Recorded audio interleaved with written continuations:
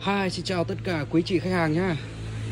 À, Em Thương xin phép được giới thiệu với tất cả quý chị khách hàng một à, uh, gốc cẩm chỉ căn ba. Hàng uh, nói chung cũng gần như là khô rồi các bạn. Hàng đẽo các bạn nhé Đấy, Vân này các bạn này Vân thì nói chung là Vân nó xoắn xoắn xoắn rồi Vân này nó quá vip rồi Không thể chê vào đâu được rồi anh chị bạn nhé Cục đây thì đông đặc. Đấy, 40kg 40kg Cục đây uh, nói chung các bác thích lên tác phẩm gì thì tùy ý nhé rồi ok em đi vào giới thiệu kích thước liền luôn cho chị bạn này. Dài tính từ đây đi cỡ này. Đây chỗ đây là 80 này. 80 từ trên đầu này. Đấy. còn từ đây lên đây là 55 ok Đấy. cái rễ này à, từ đây ra đây là được 27 phân đường kính 11 Đấy, còn từ cái khúc này từ từ cái khúc đây đó này từ khúc đây lên đây này. Đây nhé, em đo. Chuẩn chỉ luôn. Đây, từ cái chỗ eo lên đây là được à, 37 phân. Đấy. từ chỗ đây xuống đây là được, từ đây. Đây được 30 phân. Đường kính như hai rễ này 11 chỗ đây 13 Đấy. eo đây là 27 chỗ này 20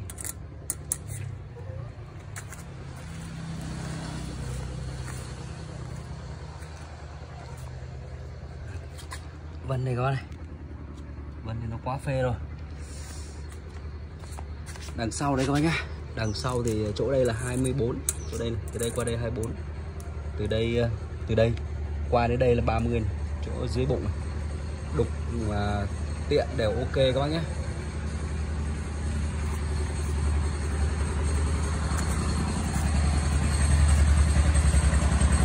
bốn mươi kg anh chị bạn nhé 40 kg hàng đông đặc luôn.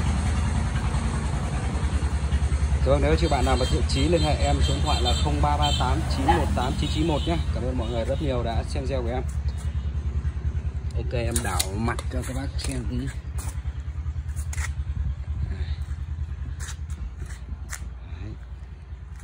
Úp này.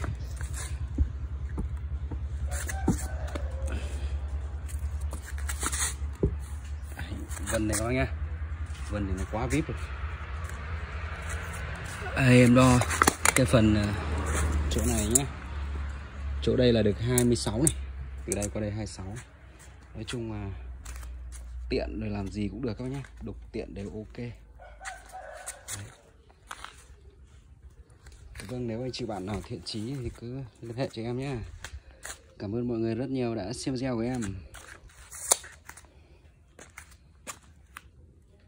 Quá hàng đông đặc luôn băng đặc luôn chị bạn nhé